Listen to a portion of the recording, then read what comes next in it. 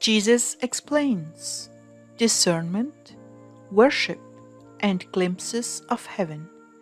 May 8th, 2015. Words from Jesus to Sister Clare, spoken by Jackie.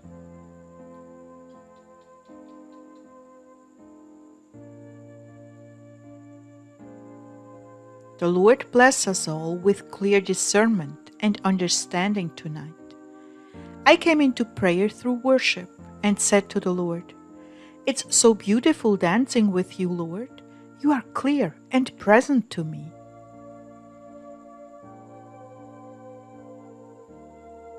And why not? This is practice for our wedding dance. For the real event? Yes, my love, for the real event, soon to come.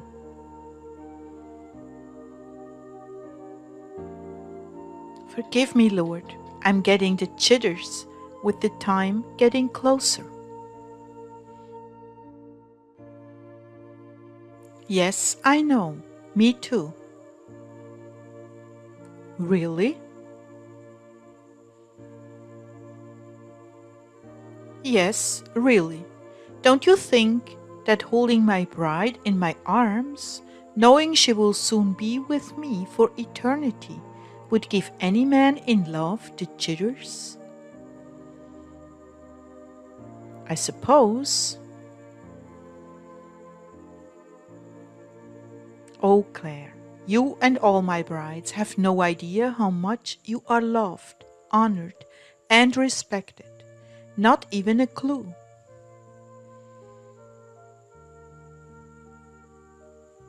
I guess not. Well, it's beyond your wildest dreams.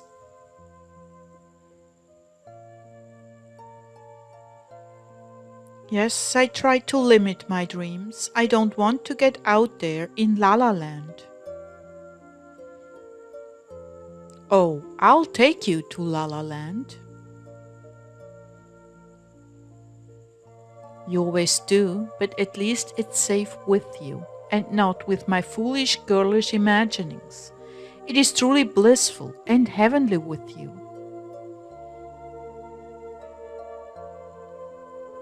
You are far too timid. Timid? Yes, timid.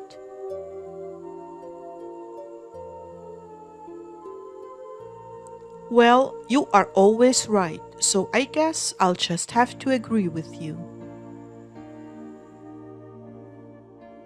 Oh, you are timid, all right. I have to meet you not halfway, not two thirds of the way, but 80% of the way. You are so timid. You mean others are bolder in reaching out to you than me? Oh, yes, much bolder. Wow, I used to be so bold. What's happened to me? You married a man that turned the wild March hare into a sweet, domesticated little bunny.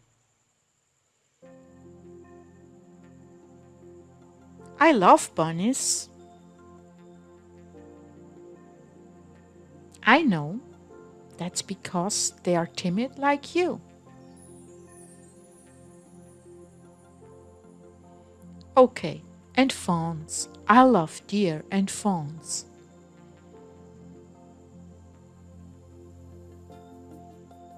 See, there you go again, timid.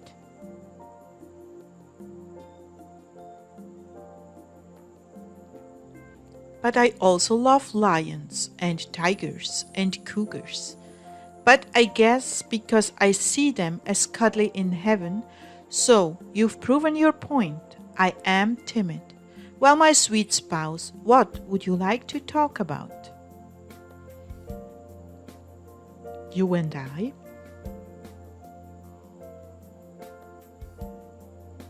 Oh,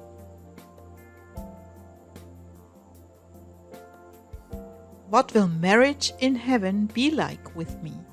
That's what I want to talk about. We will never be apart. You mean physically or spiritually? Spiritually.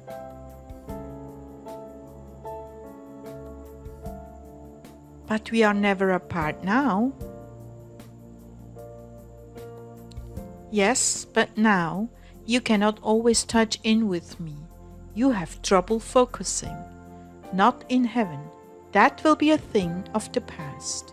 The very moment you touch me with your thoughts, I will be there before you. Wow, I like that. But won't I be a pest? You will learn propriety. That is, being united with me and wanting attention will be two different things. You will be so filled with me that touching in will not be so necessary. You will be drawn to worship and lingering in the sweet bliss of our presence in worship.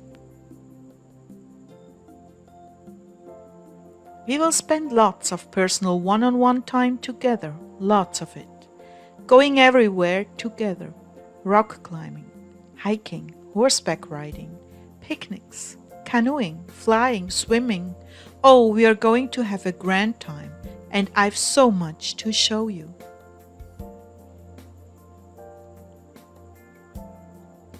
But isn't that frivolous in light of the work to be done here on earth? You must come to know me more thoroughly so that my presence can get stronger and stronger through you to others. You will bring me to them, and the better you know me, the better you will bring me to them. Besides, recreation is important. Recreate opens your perspective on life, allows you to rejoice in the bounty and variety I have created for you, just to enjoy. You see, this is one way we show our love for one another. We create something for the one we love. We cherish their reaction and the joy they find in it. But I know you are graduating to people. You are being to find all your joy in them. Yes, this is beautiful and praiseworthy and very much like me. Every soul has a journey to make through things created, even people as they travel to me alone. I know that you would be happy in my broom closet, so I've built you a palace. Is that such a great thing for me? I think not. It is but a minor token of my love for you, which goes way beyond created things. It goes all the way to Calvary. Oh Lord, don't say that. I don't want to think about your suffering for me.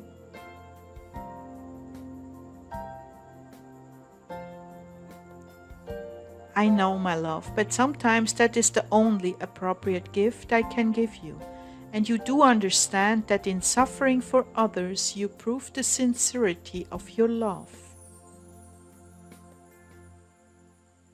Yes, I do, Lord.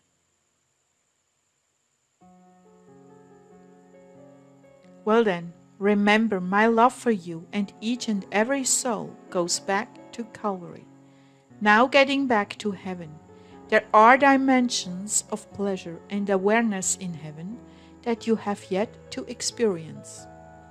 One you did experience the night I visited you and translated you out of the kingdom of darkness and into my glorious light. Oh my, that was quite an event.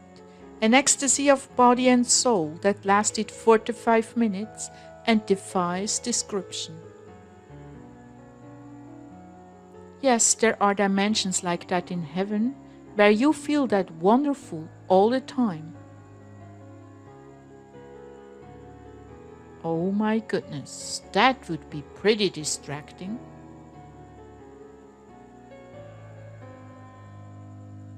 Not really. You learn to function in that state, and everything you touch receives a portion of that bliss. Oh, you have no idea what is waiting for you. The oneness of all creation and how we communicate the love for each other interdimensionally.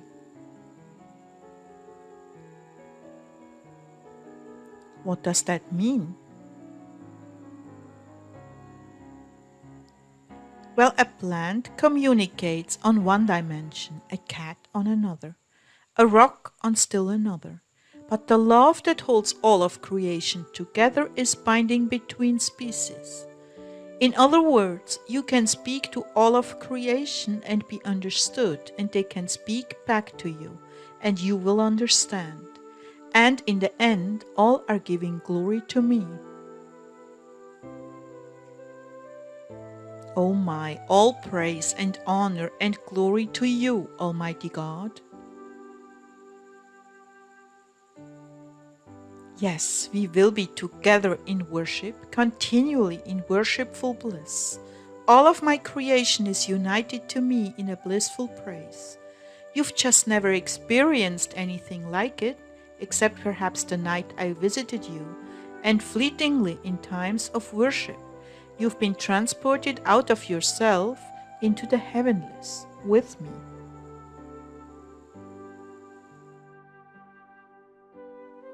Wow, Lord, this is so amazing. May I just stop right here and breathe it in just for a moment?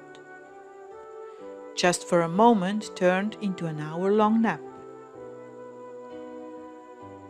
Jesus whispered, I'm still here. You mean you didn't get tired of waiting for me?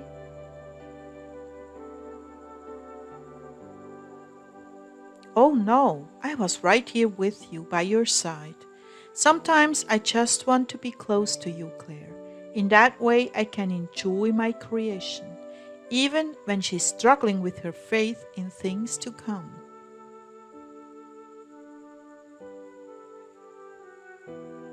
Oh, I can't keep anything from you. I'm really sorry. I hate it when I question what you so faithfully told me.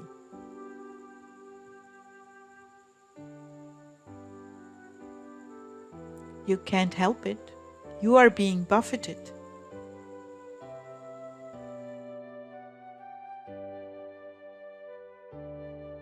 I rebuked them, Lord, because I thought that's what you wanted me to do.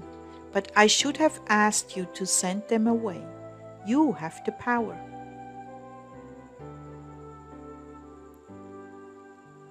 But I'm also enjoying the battle between you and them. I see that little crack way down deep inside your vessel, and they see it too. Suddenly I saw myself as a large water vessel and at the very bottom there was a light coming in through a crack.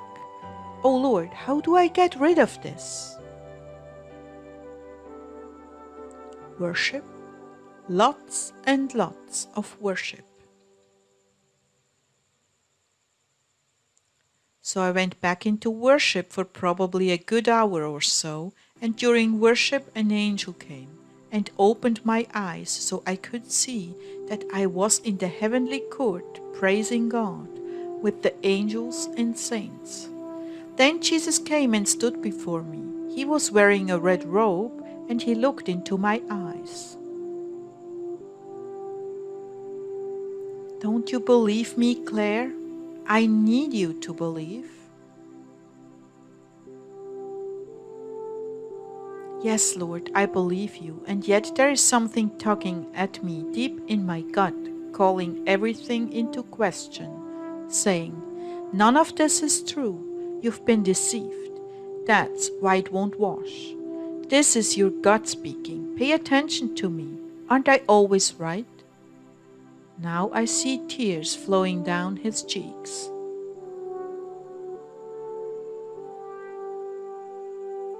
How do I get rid of this damnable spirit of unbelief, Lord? I'm so used to seeing something and verifying it with my gut level feeling. How do I deal with this opposition? My faith tells me one thing, and my gut level perception is going against it.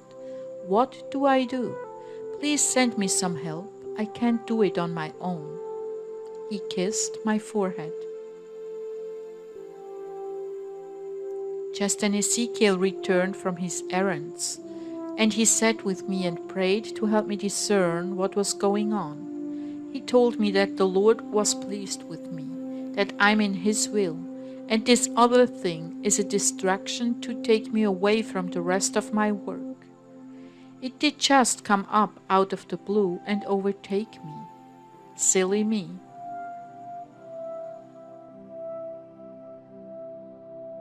I asked him, What do we do if time continues to drag on and the Lord has not come yet?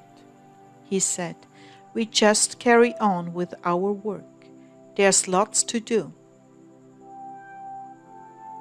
I know the one thing I'm sure Jesus has told me, since he has confirmed it over and over again, is when Miami falls, the rapture will happen directly after that. But this nagging God level feeling, what is it about? Ezekiel said, Set it aside. Wait on the Lord. It will get resolved. This is discernment 404 New levels, new devils. I went back to worship, and the Lord began speaking to me. You're going to have to wait on me, beloved. That is the only resolution. I will make it plain and clear, but this is a suffering. Wait on me. In the meantime, I would say that you do have faith, but you are being tested. Hold fast to what you know in your heart and set the rest aside. Very quickly now, I will make the truth plain to you in such a way that you can receive it without wavering. Stand. And when you have done all, I say stand because faith is the assurance of things hoped for, the conviction of things not seen. That's Hebrews 11:1. 1. You have the conviction of things not seen, don't you? Yes. Then you are being toyed with. This is a distraction, just as your covering said it was. Haven't I always given him the wisdom to carry you through?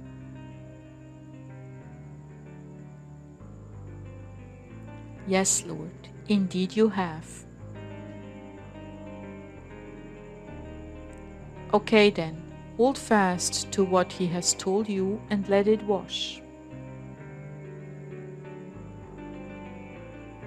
Thank you, Lord. I have a peace about this now. As I told you, you were being toyed with. Keep your eyes on the work at hand. You see, when you are making progress, the enemy tries to erect barriers to slow you down. Sometimes, when you can't resolve these things on your own, rather than continue to bang your head against the wall, it is best to set it aside and carry on. Then later things will become clear. But when you enter into a struggle to get all the answers now, you get derailed and the important things that are waiting for your attention don't get addressed. So carry on, my love. You are very pleasing to me, and those kinks in your faith are nothing more than distractions blown out of proportion in order to stop your forward motion, which, by the way, they did. For how many hours? Six?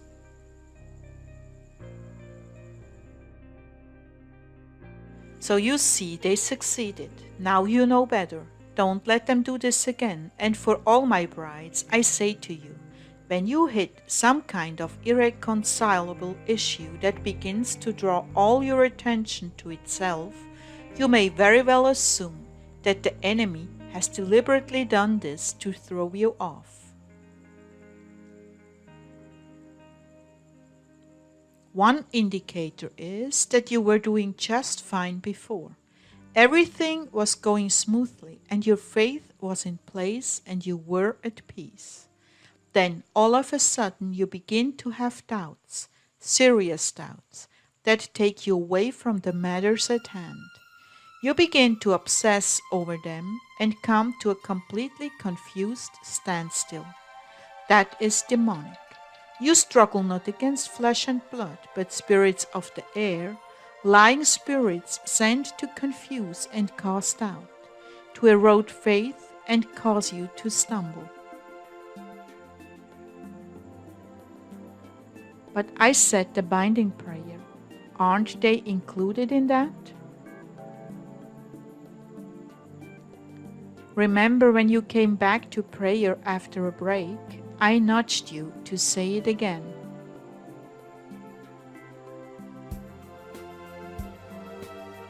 Oh. And you didn't. Bingo.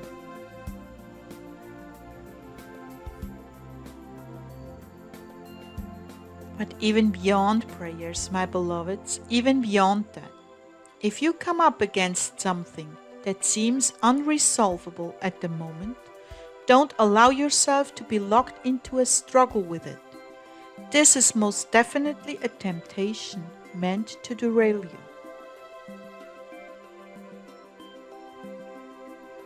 So now you are free, my dear one. Move on. There is so much for you to do. I give you all my blessing and grace now, that you will be resolute in waiting for me. Add to that a careful examination of dynamics that might frustrate or hinder your faith. Be on guard against those who would derail your patient endurance, and in all things continue in the hope I'm imparting to you this night. I love you all dearly. The table is set, the food is prepared. Soon we will be seated at the banquet together. Soon.